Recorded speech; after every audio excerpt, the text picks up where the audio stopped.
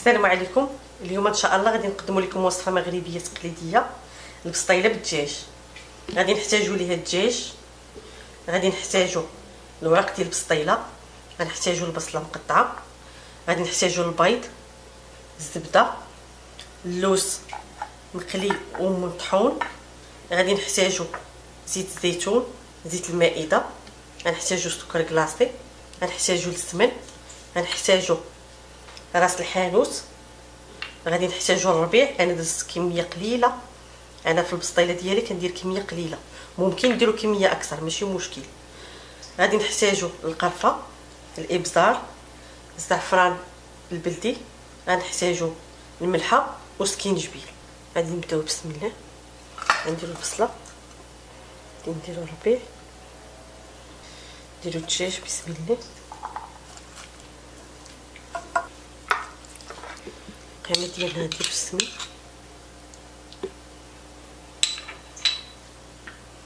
غادي نديرو راس الحانوت. هاد راس الحانوت مهم في البسطيلة. القرفة.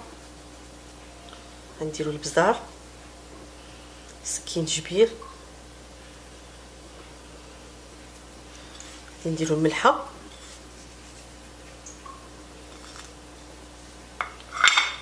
والزعفران البلدي غنديرو شوية زيت المائدة ما نكثروش شوية زيت الزيتون.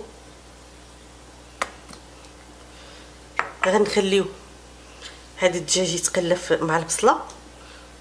نزيدو كاس ديال الماء ونخليوه حتى يطيب. كيف ما كتلاحظوا الدجاج عندنا ها هو طاب. حيدنا ليه العظام وقطعناه صغير. بحال هكا حيدنا ليه العظام كلهم. غادي نزيدو شوية التغميره ديال الدجاج بسم الله. باش تكون رطبة. ما تكونش ناشفة. بالنسبة لهاد المريقة اللي بقات غادي نديرو فيها البيض وغادي نردوها حتى تشحر ما تبقاش المرق في ال... عندنا هنايا مع البيض. نخليو هادي على جنب بسم الله.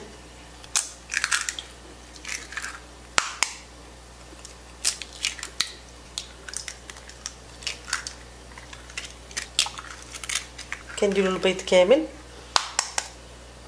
كنخليوه على النار مهيلة مع التحريك. دابا بالنسبة للوز يعني حيدنا ليه القشرة وقليناه حمرناه في الزيت وطحناه ما يكونش مطحون بزاف. كنديروا عليه شوية سكر على حسب الذوق. أنا ما كنكثرش بزاف السكر.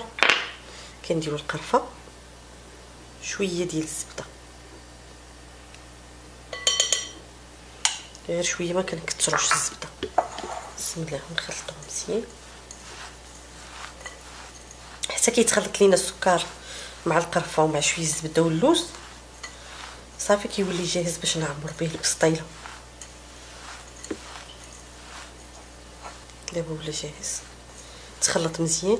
غنخليوه على جنب حتى المرحلة الموالية. من بعد ما وجدنا البيض والدجاج واللوز غادي نبداو في تعمار البسطيله غنحتاجو شوية ديال صفر البيض باش غادي نلصقو الوراق وغنحتاجو الزبده دايبة. بسم الله. بالنسبة للورقة دائما الجهة الملسة ديال الورقة كتكون هي لتحت. غادي ندهنو الطاوه ديالنا بالزبده بسم الله.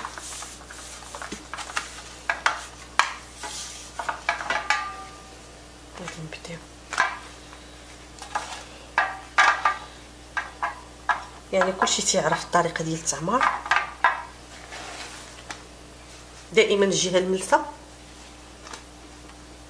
من التحت.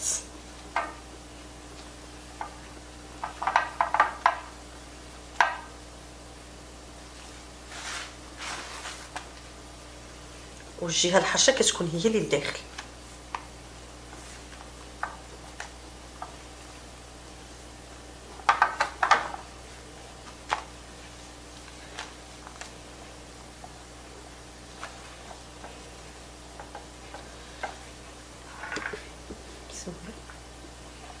نديرو غير شوية باش الورقة تشد لينا الورقة.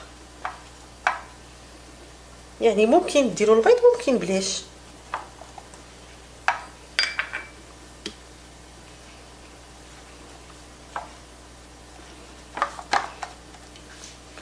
دائما كنديروا الزبده باش كتجي الورقة فتية من الداخل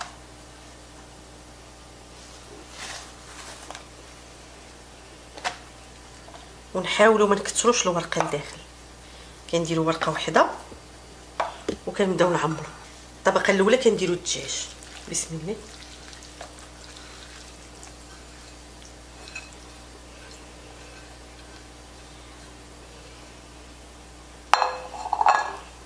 كنفرشوا الدجاج. كنحاولوا نوزعوه على الطاوة كلها. بالتساوي ما نخليوش بلاصة عامرة وبلاصة خاوية. فوق من الدجاج كنديروا البيض.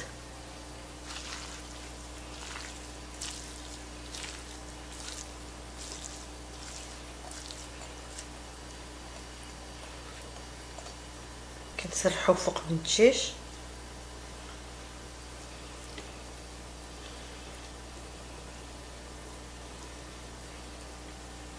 كناخذو دابا ورقة وحدة.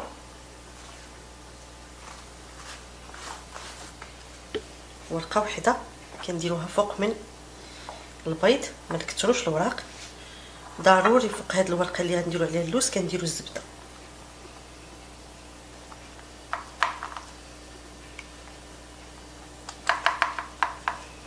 من بعد ما درنا الزبدة كنديرو طبقة ديال اللوز.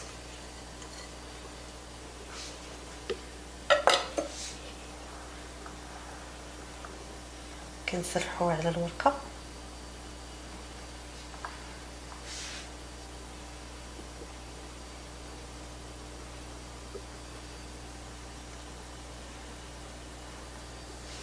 كنغطيه بورقه أخرى.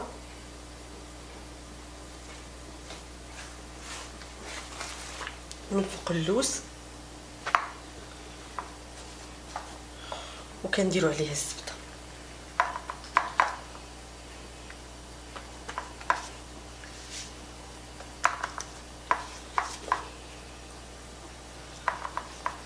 ملي كنديروا الزبده كنحاولوا نجمعوا هاد الجناب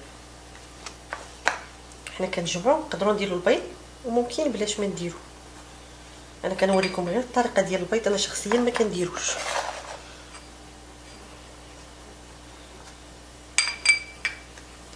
باش الورقة ما تحلش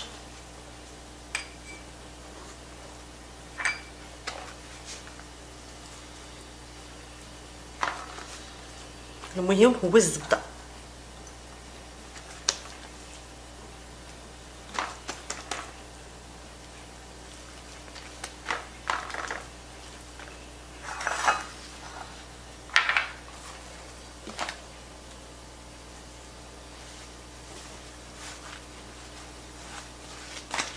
دابا غادي نديرو الورقة. غنديروها من الفوق ونجمعوها لداخل ندخلوها لداخل. هنا عاوتاني. الجهه الملسه هي اللي كتكون على برا والجهة الحرشه كنخليوها لداخل. بسم الله. كنهزو وكندخلو. الجهة الحرشه لداخل الجهة الملسه تكون على برا.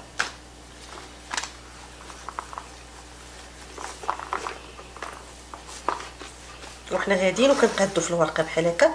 حتى نكملو الدوره ونقادو البسطيلة ديالنا.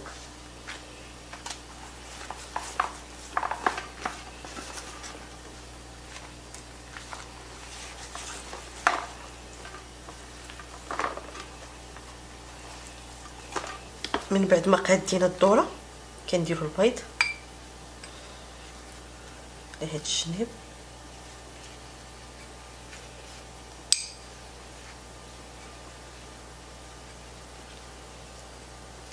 هادو كنديروهم غير باش غنديرو ورقة من الفوق باش تغطي لينا هاد العيوب. اللي هنا كنديرو ورقة من الفوق ورقة واحدة كنديرو البيض من هنا باش كتلصق. من قبل ما نديرو الورقة كنديرو الزبدة.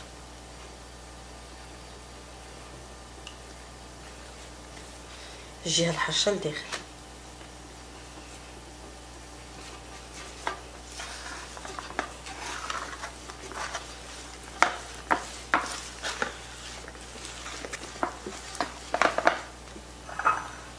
كنديروا عاود الزبدة فوق من الورقة. دابا كنتقبوها باش إلا كان شي بخار باقي في الدجاج ولا البيض كيخرج. غندخلوا البسطيلة ديالنا الفران نتسناو عليه حتى تحمر ما كاينش الوقت. كل واحد والفرن ديالو كيفاش غادي يطيب البسطيلة. نتسناو عليه غتبان لنا تحمرات. غنخرجوا البسطيلة ديالنا واجدة.